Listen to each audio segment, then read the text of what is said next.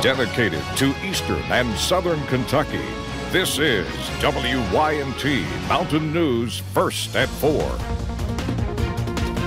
Good afternoon, I'm Steve Hensley. First at 4, Barbourville Middle School students were leaving a soccer game last night and were surprised when something struck the windshield of the bus. WYMT's Hannah Reynolds explains what that was.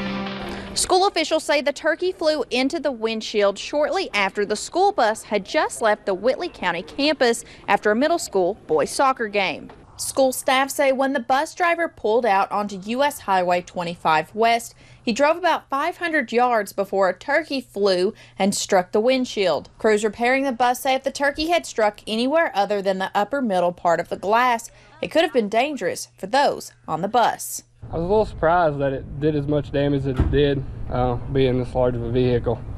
Um, it's going to take us a minute to clean up. There, there's a lot of damage. Crews that are replacing the windshield say the damage estimates at about $1,500. In Barbourville, Hannah Reynolds, WYMT Mountain News. Unfortunately, school officials say nobody was hurt except the turkey.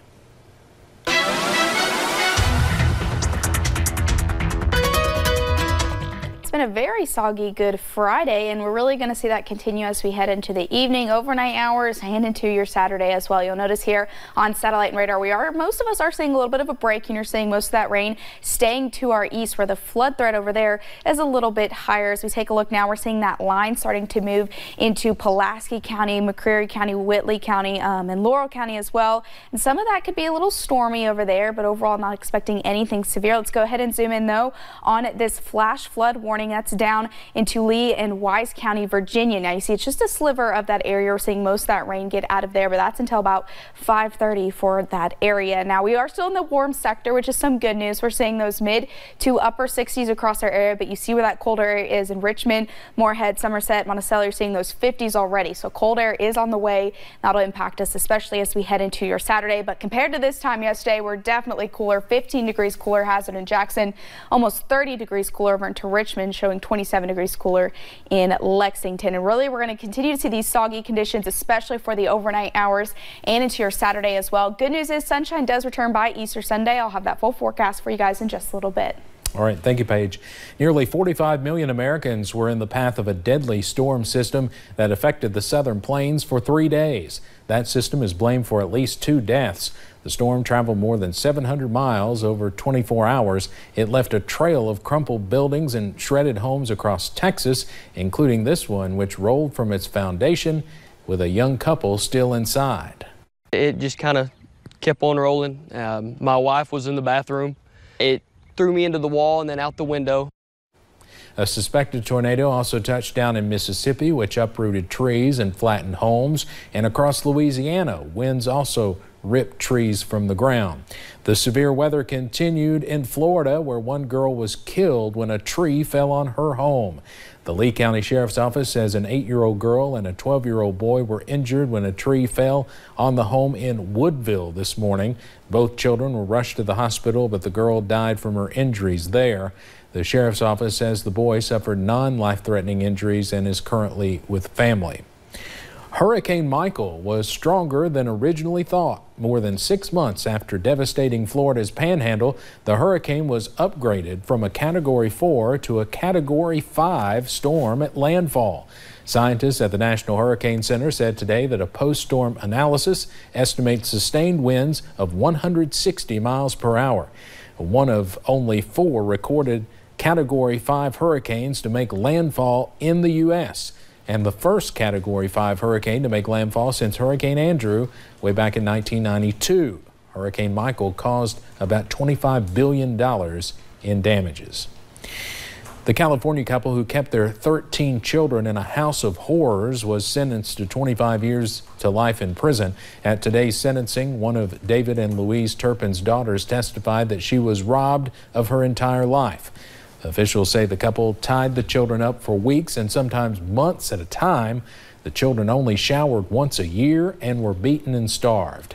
They were isolated from the outside world for years. The couple were arrested in January 2018 after one of their daughters, a 17 year old, managed to escape and call police. Congress is upping the ante over the Mueller report. Today, the head of the House Judiciary Committee issued a subpoena for the full unredacted report. Meantime, the president has some choice words about the findings. CBS's Nikole Killion is on Capitol Hill, where the legal and political battles may just be beginning. Less than 24 hours after the release of a redacted version of the Mueller report, House Judiciary Chairman Jerry Nadler issued a subpoena for the entire thing. We need the whole report including the underlying documents, unredacted. While the 448 page report did not find evidence of coordination or conspiracy between Russia and the Trump campaign in 2016, the special counsel was less clear on the issue of obstruction, leaving the question to Congress. Indeed, he found numerous instances where the president took steps to try to derail or shut down the investigation. A select group of lawmakers is being allowed to view a less redacted version of the report starting next week. But Chairman Nadler says that's pointless and demands the Justice Department turn over all materials by the time the Attorney General testifies next month. Kicking off the holiday weekend at his Florida golf club, President Trump called the Mueller report crazy and said some of the statements about him are total BS. There was no collusion, there was no obstruction. Press Secretary Sarah Sanders also disputed allegations that she misled the media when she said countless members of the FBI had lost confidence in fired FBI Director James Comey. Look, I've acknowledged that I, the word countless uh, was a slip of the tongue. Republicans say the time to move on has arrived, but Nadler insists the report exposes a culture of lying at the White House and is calling on special counsel Robert Mueller to testify. Nikole Killion, CBS News, Capitol Hill. If the Justice Department does not respond to the subpoena, Democrats could hold officials in contempt of Congress or eventually fight the battle in court. Joe Biden is expected to formally join the 2020 presidential race next week. People close to the former vice president say even though he's pushed his own deadline back a few times, he's ready to make his candidacy official. Biden has been in hot water recently after two women accused him of unwanted touching. He released a video promising to be more respectful of personal space. Biden began his political career in 1972 after winning a seat in the Senate at 29 years old. He was reelected six times before becoming the 47th U.S. Vice President. He joins a crowded field of Democratic candidates hoping to unseat President Donald Trump. Thousands of bees that live on the roof of Notre Dame are alive and buzzing. Notre Dame housed three beehives just beneath the rose window since 2013. They moved in as part of an effort to fight bee die-off.